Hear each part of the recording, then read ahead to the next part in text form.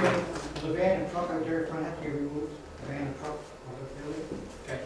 Please remove it as soon as possible. Thank you very much, George, for those comments. Uh, We're welcome to have you on our island here. You're bringing a lot of good information and education islanders and uh, as as an organ donor recipient and someone uh, received delivered in 2005, as you know, as someone who's received a uh, a life-saving organ, um, we're happy to have you here. And I know all the islanders that I've talked to over the years uh, have have echoed your thoughts. Uh, Now I'd like to welcome uh, and invite uh, the Honorable uh, Robert Ghiz to come say a few words on behalf of the province. Thank you very much. Very pleased to be here today. And first of all, I'd like to welcome George to Prince Edward Island. And your story is uh, very moving and uh, very, very touching. Uh, And I'd like to congratulate you on all the great work you're doing uh, for the Torch of Life event. I think it's, uh, it's an incredible opportunity to promote the need for organ and tissue donation.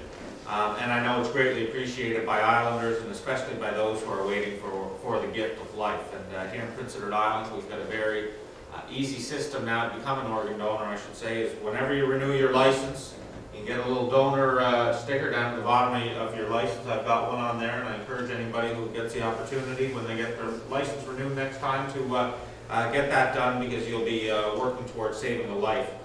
Um, To the students who are involved today, um, I believe uh, you'll remember your participation in this event uh, for many years to come, and we'll continue to spread the message about organ and tissue donation. I hope you do that um, after today for the rest of your lives. It's going to be an incredible experience. And I just want to say that uh, it's wonderful to have George here, and I thank uh, all the organizers for this great event, and especially for bringing awareness of this to the people of Prince Edward Island. Thank you very much, and good luck. Thank you very much, Mr. Greenberg. I'd like to call on uh, Mayor Charlie Lee to bring uh, comments on behalf of the city. Thank you very much, Mr. Kramer, ladies and gentlemen. George, welcome back to Charlottetown. To you. I know that your MC is wearing his Summerside shirt. Mayor Basil will be extremely proud. I also want to recognize with us this morning Mayor Patrick McFedge from the town of Cornwall. Patrick's here this morning. He's a teacher at Charlottetown Rural, but those of us who know Patrick know he's the mayor 24 hours a day.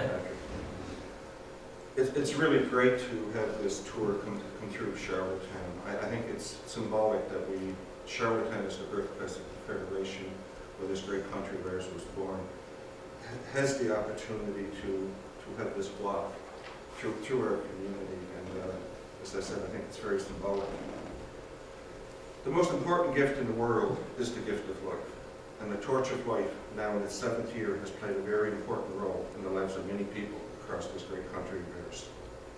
Unfortunately, someplace in Canada today, someone's likely to pass away because of the failure of a availability of an organ transplant. And that's really tragic when we, when we think of that. And there's really no need of it. The issue here is not about money, it is simply one issue, and that is organ donation. And it's very important that we all become organ donors. It is important that we let the people who are close to us know of our desire to be organ donors, so that they'll be able to carry out their wishes. The list of people waiting for or- organs is far greater than the list of donors. More people need to consider the simple act of signing the donor card on their driver's license, or simply telling someone they wish to be an organ donor. The fact that so many students are involved in this, this uh, event, I think speaks volume, volumes for our future. Honestly, our, as we all know, our youth the future of our, our communities and our country.